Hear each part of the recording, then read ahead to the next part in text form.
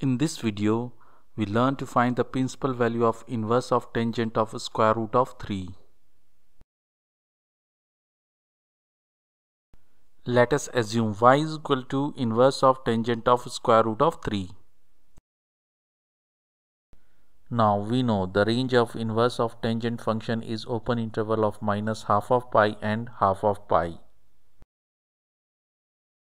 So the above statement implies value of y lies in the open interval of minus half of pi and half of pi.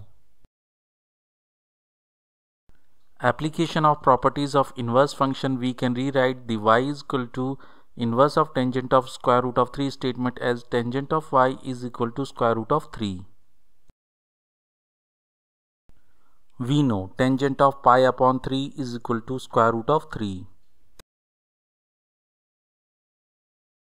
As pi upon 3 lies in the open interval of minus half of pi and half of pi.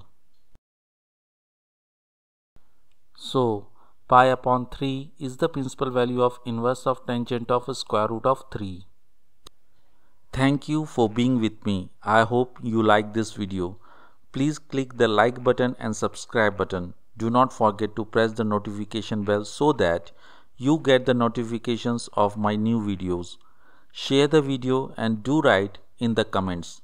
I am eager to listen to your thoughts. If you have any questions related to video, if you think I should make a video on any topics in which you are interested, please write in the comments. Thank you.